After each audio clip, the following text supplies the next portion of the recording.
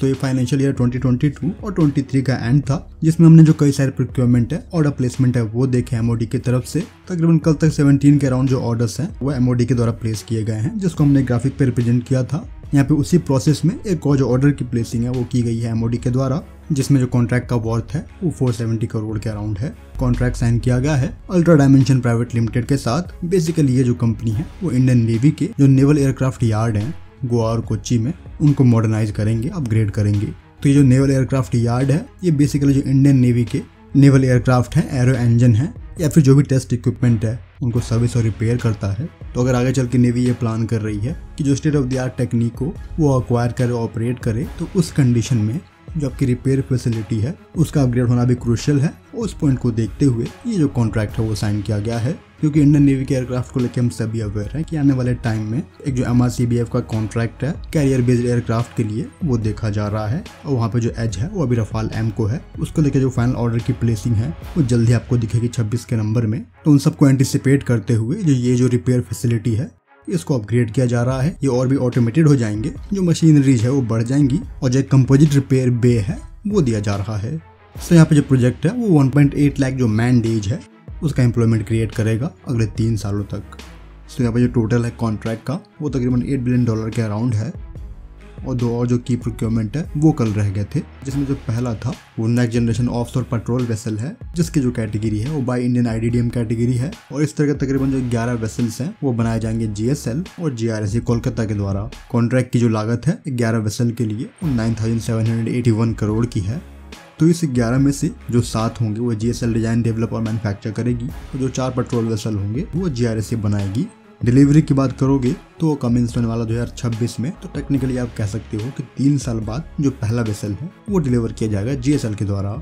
इस तरह के वेसल के रोल की बात करोगे तो एक वास्ट रोल इस्तेमाल किया जाएगा इंडियन नेवी के लिए। ये कोस्ट गार्ड का वेसल नहीं है इंडियन नेवी का है। और उस चीज़ को देखते हुए जो वेपन का इंटीग्रेशन होगा, वो वैसे ही किया जाएगा। एक जो मॉडल है, वो अभी हाल ही में हमें देखने को मिला था, गोवा शिपयार्ड लिमिटेड के द्वारा। तो यहाँ पर जो एडवांस ऑफशोर पेट्रोल वेसल है, वो शोकेस किया गया था। और जो इस तरह का पेट्रोल वेसल होगा एंटी पायरेसी काउंटर इन्फिल्ट्रेशन जो एंटी पोचिंग एंटी ट्रैफिकिंग है इवैक्यूएशन रोल हो गया या फिर जो एस रोल है सर्च एंड रेस्क्यू ऑपरेशन वहाँ पे इस्तेमाल किए जाएँगे। और जो भी आपके ऑब्स और एसेट है, उनको प्रोटेक्ट करने के लिए इस्तेमाल किए जाएँगे।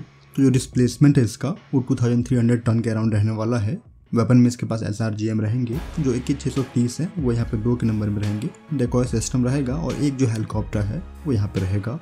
जो यहाँ पे अगला वेसल है, वो एक नेक्स्ट जनरेशन मिसाइल वेसल है एनजीएमवी है। तो इस तरह के जो छह एन हैं, वो डिलीवर किए जाएँगे CSL के द्वारा, और ये कॉन्ट्रैक्ट की जो लागत है, वो नाइन करोड़ की है। और इस शिप को लेकर जो डिलीवरी है, पहले शिप की, वो दो हज़ार सत्ताईस में की जानी है। तो टेक्निकली आप कह सकते हो कि जो टाइमलाइन है वो यहाँ पे काफ़ी कॉम्पैक्ट है। तो यहाँ पे प्रॉब्लम पॉसिबिलिटी है कि जो डिज़ाइनिंग है वो ऑलरेडी हो चुकी होगी। एनजीएमवी की बात करोगे तो ये हैवली आर्म्ड रहेंगे। बेसिकली ये मिसाइल बोट का प्रारूप है, जिसके पास जो स्टेल्थ फीचर है, वो रहेगा। हाई स्पीड पे रन कर पाएगा और जो ऑफेंसिव कैपेबिलिटी है ऑफेंसिव वेपन्स है, वो ये कैरी करेगा। जैसे कि जो आपके ब्रह्मोस है, वो चार से आठ के नंबर में कैरी करेगा। तो जो इसका प्राइमरी रोल है, वो ऑफेंसिव रोल ही है। ऑफेंसिव क्षमता आपको देना आपके एनमी के जो भी वॉरशिप है, उनके अगेंस्ट तो इसके जो टारगेट हैं, वो आपके एनमी के वॉरशिप रहेंगे। अगर जो आपको लैंड अटैक करना है, वो कर सकते हो। जैसे कि इंडियन नेवी ने लास्ट टाइम किया था कराची हार्बर पे। तो जो उस तरह के अटैक होंगे, वो ये परफॉर्म कर पाएगा। एक और लंबी दूरी से, क्योंकि यहाँ पे स्टैंड ऑफ़ वेपन के रूप में जो ब्रह्मोस है, वो ऑलरेडी है। तो जो मैरी टाइम स्ट्राइक ऑपरेशन है, वो ये करेगा। जो एंटी सर्फेस वॉरफेयर है, वो कर पाएगा। और एनमी के वॉरशिप के लिए, जो सी डिनाइल है स्पेशली चोक पॉइंट्स पे, वो आप कर पाओगे। सो जो स्टेट ऑफ़ मलक्का है, या फिर जो स्टेट ऑफ़ हारमूज है, जहाँ से ज़्यादातर जो कमर्शियल शिप हैं, वो पास होते हैं। चाइनीज़ शिप तो इस तरह के एरिया को आप चेक में रख पाओगे। डिफेंसिव रोल की बात करोगे तो जो लोकल नेवल डिफेंस है, वहाँ पे इस्तेमाल किया जा सकेगा। और जो भी आपके ऑफ़ फैसिलिटी है एसेट है, वहाँ पे आप डिप्लॉय कर ही पाओगे। सो ये दोनों ही वॉरशिप मिलके तकरीबन जो 160 लाख मैन डेज़ हैं, उनका जॉब क्रिएशन करने जा रहे हैं अगले सात से नौ सालों में। फ़िलहाल इस वीडियो में इतना ही। जय हिंद।